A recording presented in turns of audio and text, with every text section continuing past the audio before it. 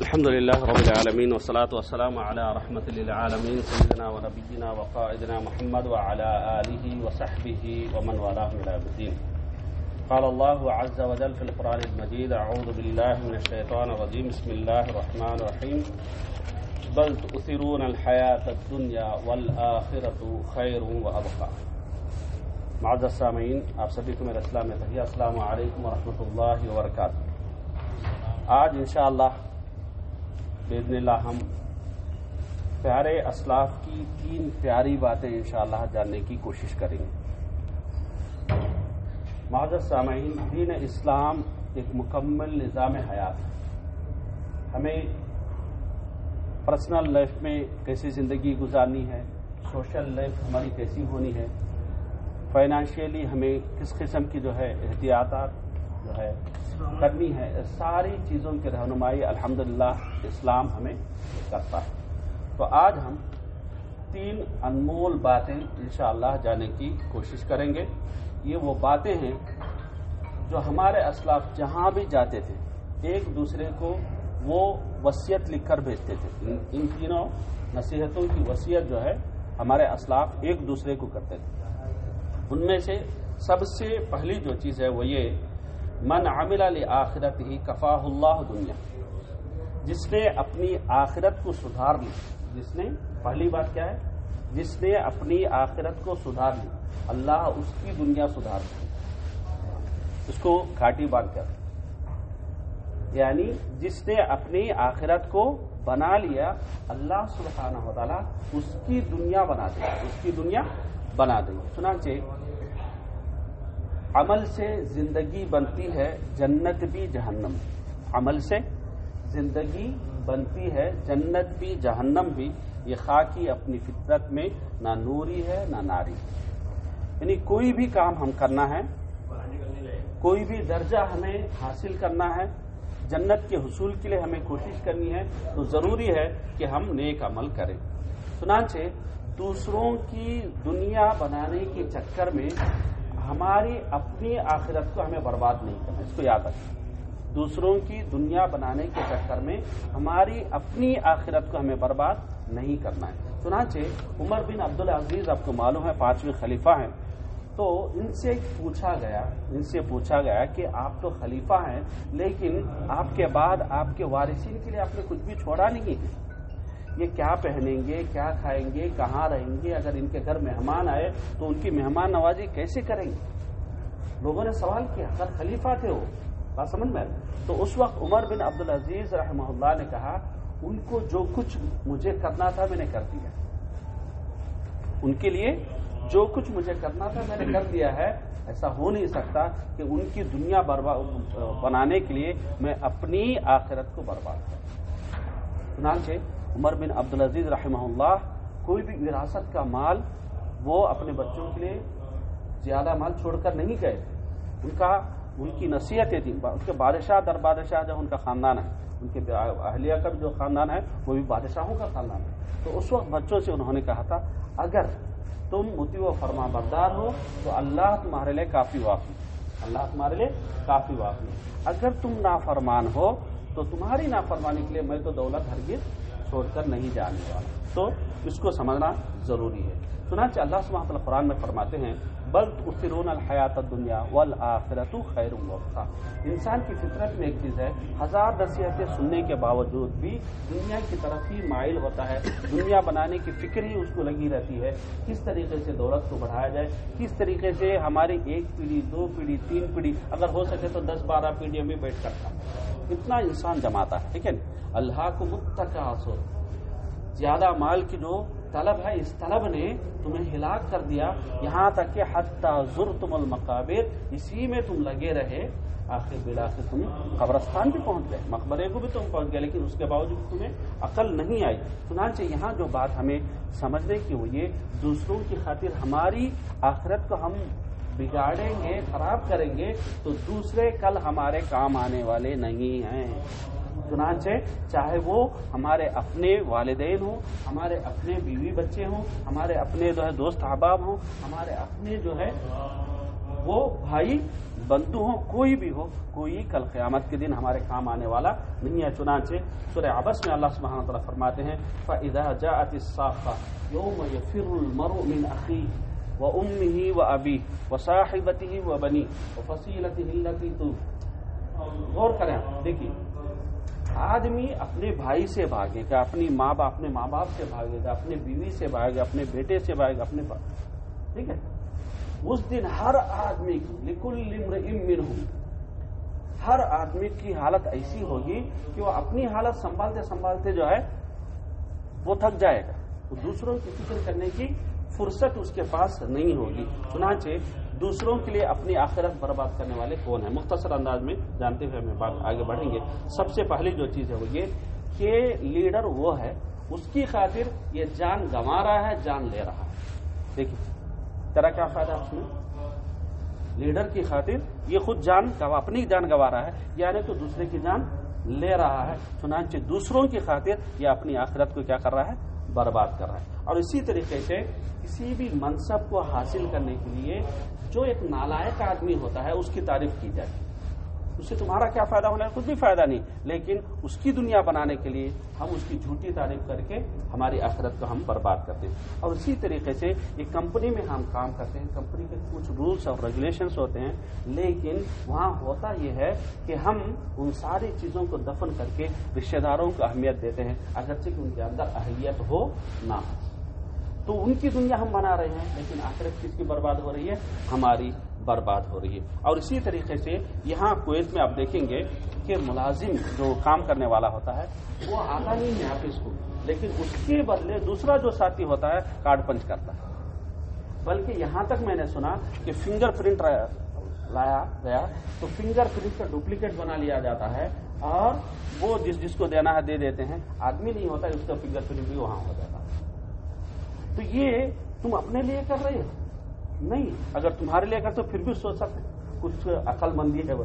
لیکن یہاں فائدہ دوسرے کا کر رہے ہو، دوسرے کی دنیا بنا رہے ہو، لیکن اس کے بدلے تمہاری آخرت جو ہے برباد ہو رہی ہے۔ اور اسی طریقے سے مالک، مال جو ہے، مالک کا ہے، ٹھیک ہے نا؟ مال، مالک کا ہے۔ مان لیں مجھے مالک نے ذمہ داری کیا دی مجھے؟ مال بیچنا ہے۔ تو مال کے عیب کو چھپا کر میں مال بیچ رہا ہوں اس سے فائدہ کس کو مالک کو فائدہ ہے، لیکن میں عیب چھپانے کی وجہ سے اپنی آخرت کو میں برباد کر رہا ہوں۔ اور اسی طریقے سے پیٹرول پمپ کے پاس آپ دیکھیں گے کہ وہ پیسہ تو ہم سے پورے طریقے سے لیتے ہیں، لیکن مالک کی رہنمائی ہوتی ہے آرڈر ہوتا ہے، تو کیا کہیں پیٹرول کچھ کم کر سکتے ہیں تو اس سے تمہارا کیا فائدہ ہونے والا ہے؟ پیسہ تو تمہارے جیب میں جانے والا نہیں ہے۔ اس کے جیب میں پیسہ جا رہا ہے، لیکن تمہاری آخرت برباد ہو رہی ہے۔ اور اسی طریقے سے ہمیں معلوم ہے کہ ظلم کر رہا ہے اور اس لیے فلاں کی جائیداد جو ہے ہڑپی ہے اور اس کا معاملہ کورٹ میں، اس کا معاملہ کورٹ میں۔ لیکن جج کے سامنے، وکیل کے سامنے بھیجا جا کر اس کی سپورٹ کریں کیا فائدہ ہے بھائی؟ ہمارا کیا فائدہ ہے اس میں؟ اس کی دنیا بن رہی ہے، لیکن ہماری آخرت بگڑ رہی ہے۔ اور اسی طریقے سے جھوٹی گواہی دینا بھی، یہ ہمیں آخرت کو برباد کرنا ہے۔ چوری، ڈکیتی اور زمینوں کو ہڑپ کرنا دوسروں کی زمینیں جو ہڑپ کرتے ہیں اس میں بھی گناہ ہی ہے اور خاص کر بہت سے لوگ کیا کرتے ہیں، ہڑپتے نہیں ہیں، لیکن کوئی ہڑپ رہا ہے تو اس کا سپورٹ کرتے ہیں۔ یعنی تو خاموش رہتے ہیں، اس کے خلاف کچھ بھی نہیں بولتے۔ اور اسی طریقے سے معذر سامعین بہت ساری چیزیں ہیں، نقلی ڈگریاں بنوانا۔ کیا آپ کا فائدہ کیا ہے اس میں؟ چار پیسے ہو سکتا آپ کو مل جائے۔ نقلی ڈگری بنا جس کی وجہ سے آپ کو معلوم ہے کہ ہندوستان میں ایسے واقعات پیش آئے ہیں کہ یوٹیوب میں دیکھ کر آپریشن کیا گیا اور آپریشن فیل بھی ہو گئے۔ کون ہے یہ سب؟ یہ نقلی ڈگری لے کر ڈاکٹر بنے ہوئے، سرجن بنے ہوئے لوگ ہیں۔ تو یہ کتنا نقصان ہو رہا دیکھیے۔ تو دوسروں کی دنیا بنانے کی خاطر ہماری اپنی آخرت کو ہم برباد کر رہے ہیں۔ چنانچہ معذ سامن کل قیامت کے دن اتنا خطرناک ہولناک ہوگا۔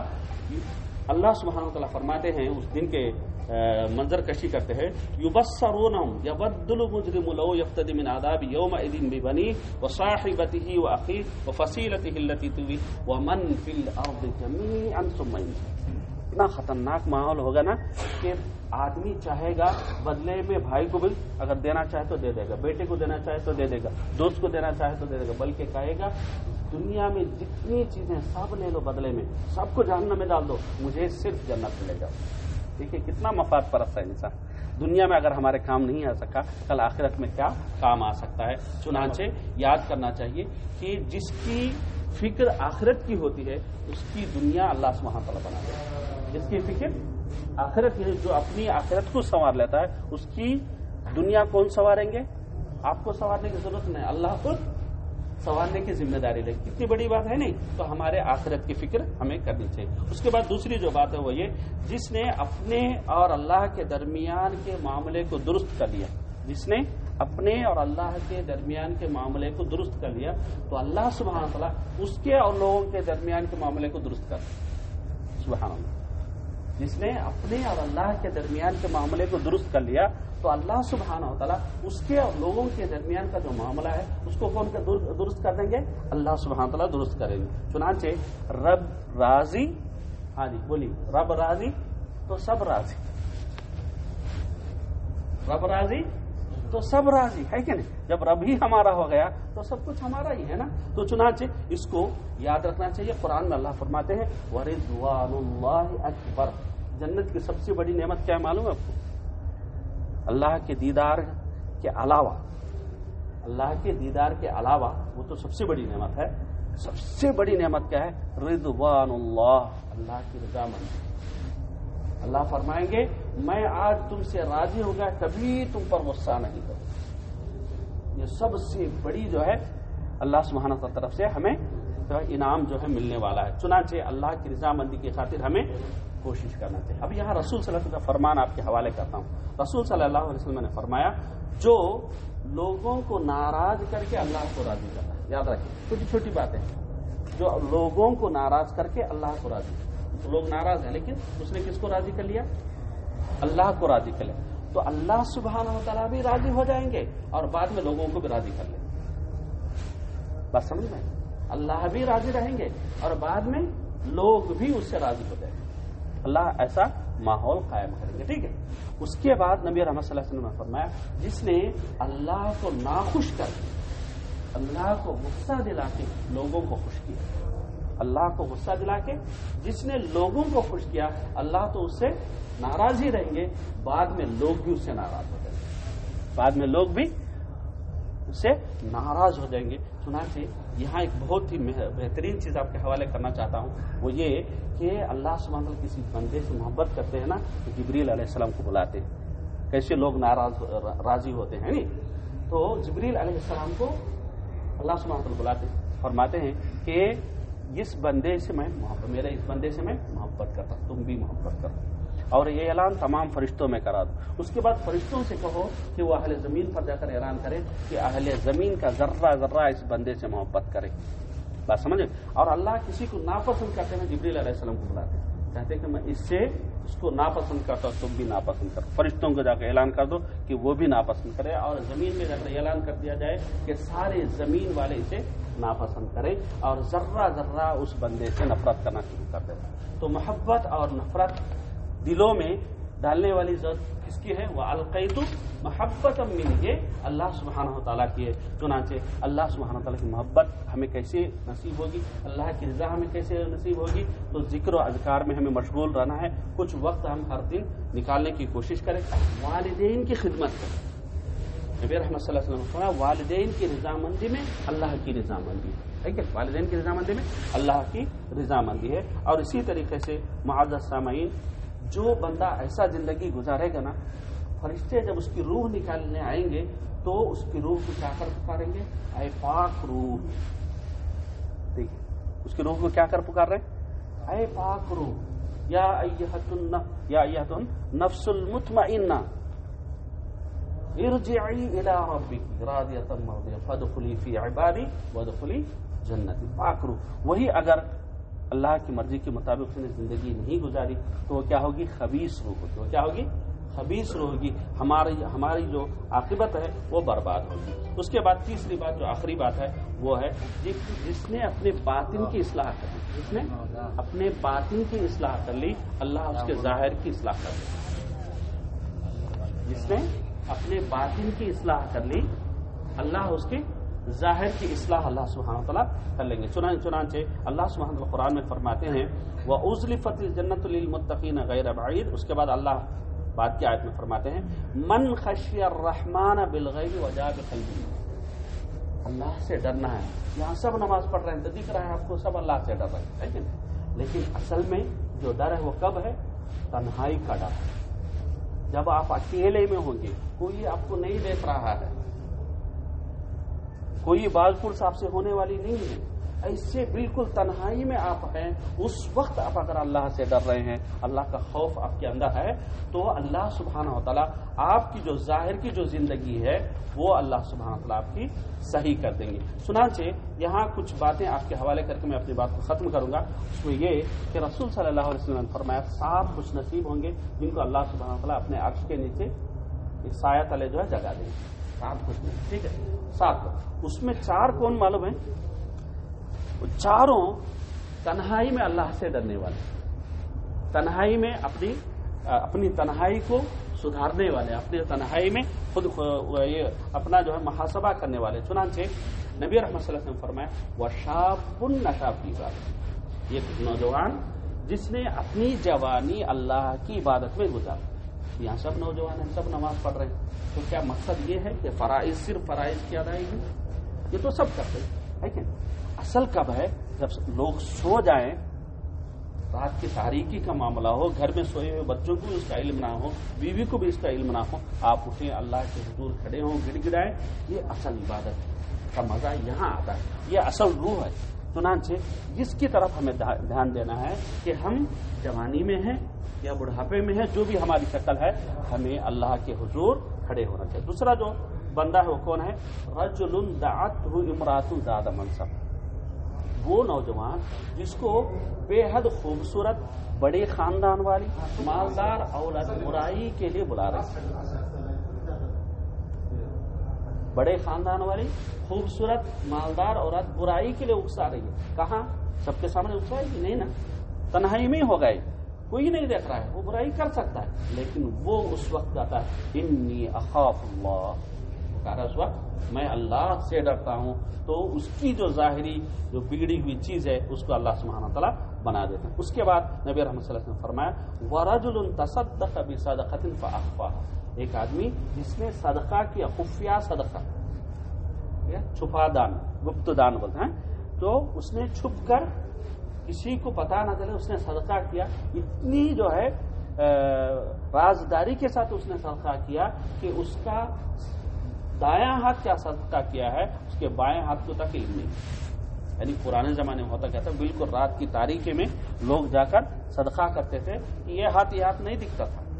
تو سامنے والا بھی ان کو نظر نہیں آتا تھا۔ تو اتنا جو ہے رازدارانہ طور پر صدقہ کرتے تھے، بلکہ ہمارے صحابہ اور تابعین کو دیکھے کہ ان کے انتقال کے بعد معلوم ہوا کہ سو خاندان ان تک راشن نہیں پہنچا انتقال کے بعد معلوم ہوا کہ یہ صدقہ کرتے تھے، ان تک راشن ہر رات پہنچاتے لیکن خاندان والوں کو خود نہیں معلوم کہ راشن کون لے کر جا رہا ہے۔ اور یہ زندگی بھر انہوں نے کیا ہے۔ تو یہ آخری جو چیز ہے، وہ یہ ہے کہ ایک بندہ جو اکیلے میں بیٹھا ہوا، کوئی نہیں، ایک بندہ اکیلے میں بیٹھا ہوا۔